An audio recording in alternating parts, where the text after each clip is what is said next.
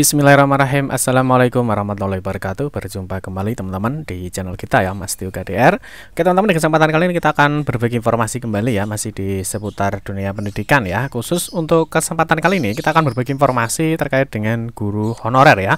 Yang mana di sini teman-teman ada suatu dana resmi ya Tentunya untuk bagi rekan-rekan ya guru honorer yang mendapatkan bantuan ya uh, penerima tunjangan ya, baik itu tunjangan insentif maupun tunjangan khusus di tahun 2022 yang mana teman-teman di sini ada batas waktu untuk aktivasi rekeningnya ya. Jadi teman-teman bagi yang uh, memang mendapatkan bantuan segera dicek ya di akunnya apakah memang mendapatkan bantuan apa tidak ya.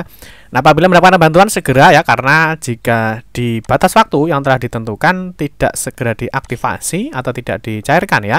Tentunya ini telat sama dengan hangus ya karena e, tentu tunjangan itu akan dikembalikan ke pusat ya. Jadi bagi rekan-rekan ya silahkan untuk di cross check datanya.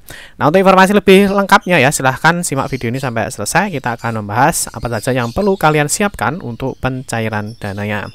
Tapi seperti biasa kita ingatkan dulu mungkin bagi kalian yang baru bergabung di channel ini atau mungkin baru melihat channel ini, jangan lupa untuk klik tombol like dan subscribe. Silahkan bunyikan lonceng notifikasinya biar Anda selalu mendapatkan informasi-informasi terbaru dari kita. Bagi kalian yang suka membaca berita, silahkan kunjungi saja di laman resmi kita ya, mastiukade.com. Di sini kita akan berbagi informasi khususnya di seputar dunia pendidikan. Oke, kita mulai untuk khusus guru honorer ya. Di sini uh, terbaru teman-teman ya di sini per 27 Desember 2022 ya yang terkait dengan uh, surat edaran resmi ya dari Direktorat Jenderal Pendidikan Islam ya Kementerian Agama Republik Indonesia yang mana di sini teman-teman perihalnya ya yaitu adalah penyaluran tunjangan insentif dan tunjangan khusus tahun 2022 ya. Nah, ini sifatnya adalah penting ya dikarenakan di sini ada batas waktu dan uh, apa yang terjadi jika tunjangan itu tidak segera diaktifasi atau dicairkan. Nah, sebelumnya teman-teman mungkin teman-teman juga sudah pernah membaca ya. Di sini juga sebenarnya sudah ada himbauan di 27 Desember terkait dengan penyaluran tunjangan insentif dan sebelumnya di 12 Oktober 2022 di sini ada juga untuk pemberitahuan ya pencairan insentif tahun 2022 yang mana memang uh, kemarin teman-teman di tanggal uh, 7 ya jadi 6 Oktober 7 Oktober di sini sudah bisa mulai dilakukan pencairan ya atau dana, dana itu sudah dilakukan transfer. Terus untuk aktivasi rekening ya bantuan itu di kantor Bank Mandiri ya mulai tanggal 24 Oktober 2022 mengingat saat ini sudah tahun baru teman-teman ya sudah 2023 yang mana uh, masih banyak sekali teman-teman yang mungkin belum tahu informasinya atau belum belum menge mengecek datanya.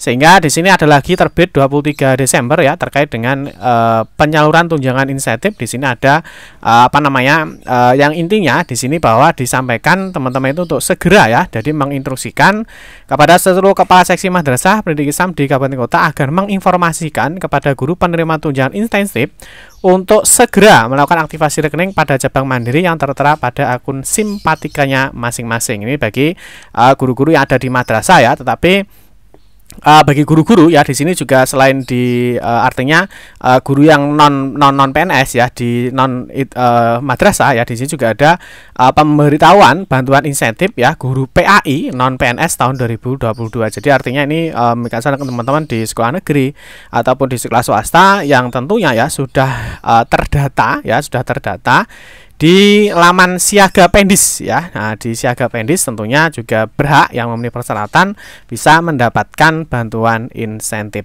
Nah, yang mana teman-teman di sini juga diinforma, uh, diinformasikan ya bahwa pengambilan dana dilakukan di Oret Mandiri ya uh, terdekat pada mulai ya tanggal 20 Desember 2022. Jadi sudah bisa dilakukan pencairan.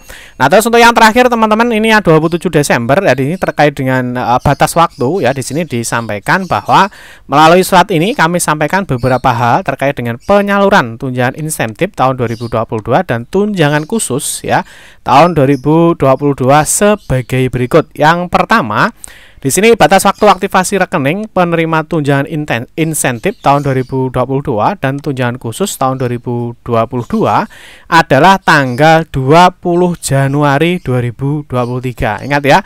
Jadi masih ada waktu sekitar 19 hari lagi ya sehingga nanti uh, mungkin bagi rekan-rekan yang belum mendapatkan informasi ya bisa segera mengecek di akunnya masing-masing baik itu di simpatika maupun di siaga pendis ya tentunya eh, rekan-rekan uh, juga sudah paham ya bahwa di sini untuk pengecekan tunjangan ya bisa melalui simpatika bagi guru-guru yang berada di madrasah dan juga di siaga pendis ya bagi guru uh, eh, PAI ya. Jadi silakan dicek di dua portal ini ya. Jadi eh, rekan-rekan uh, itu memiliki portal yang mana apakah simpatika apakah siaga pendis. Dan tentunya ya jika rekan-rekan memang mendapatkan bantuan ya segera dilakukan pencairan sebelum 20 Januari 2023. Terus yang kedua teman-teman untuk rekening yang tidak dilakukan aktivasi ya jadi uh, tidak dilakukan aktivasi hingga batas waktu yang disampaikan secara otomatis akan disetorkan ke Bank Mandiri ke kas umum negara. Jadi artinya nanti bagi yang uh, rekeningnya tidak dilakukan aktivasi ataupun pencairan tentu dana itu akan dikembalikan ke pusat. Oleh karenanya, Direktur Guru dan Tenaga Pendidikan Madrasah menghimbau ya kepada Kepala Kantor Wilayah Kementerian Agama Provinsi untuk menginstruksikan kepada seluruh Kepala Seksi Madrasah atau Pendidikan Islam di Kabupaten Kota masing-masing agar menginformasikan ya tersebut pada guru-guru penerima tunjangan insentif tahun 2022 atau tunjangan khusus di tahun 2022. Nah, mungkin bagi teman-teman yang belum tahu ya siapa sih uh, daftar penerimanya ya di sini di sini teman-teman di sini ada lampiran ya keputusan Direktoral Jenderal Pendidikan Islam 080 tahun 2022. Nah, di sini teman-teman ya jadi untuk besarannya kemarin juga sudah kita bahas itu ada 250.000 yang mana 250.000 dikalikan selama 6 bulan ya. Jadi kurang lebih uh, teman-teman itu mendapatkan 1,5 juta ya tentunya uh, Bapak Ibu guru silahkan di cross check datanya. Nah, ini untuk daftar penerimanya ya, daftar penerimanya itu siapa saja ya? Di sini sudah ada teman-teman. Di sini ada penerima bantuan insentif guru non pegawai negeri sipil tahun 2022. Lalu untuk datanya ini, rekan-rekan juga bisa download saja ya di uh, laman resmi kita mastiukade.com. Di sini kita sudah ada ya terkait dengan daftar nama penerima bantuan insentif guru non PNS tahun 2022. Nanti silahkan di cross check apakah Bapak Ibu sebagai penerima bantuan insentif ataupun tunjangan khusus di tahun 2022 Terus untuk berkas apa saja yang perlu disiapkan ya tentunya uh, di sini sudah ada ya. Jadi nanti teman-teman bisa login ya uh, yang memiliki akun siaga. Jadi yang memiliki akun siaga, jadi aplikasi ini dicetak melalui uh, aplikasi siaga. Tentunya nanti ada kartu insentif ya di sini uh, secara otomatis. Uh, yang kedua ada SPJTM.